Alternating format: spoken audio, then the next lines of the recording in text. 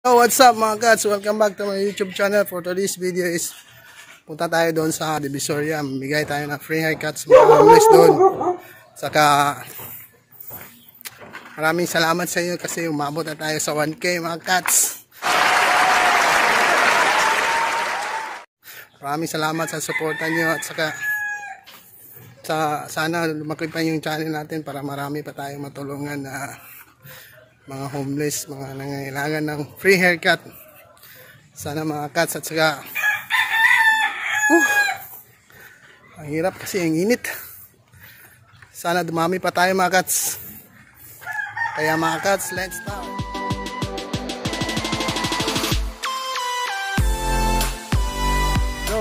Hello, mga cats, nandito tayo sa Divisoria.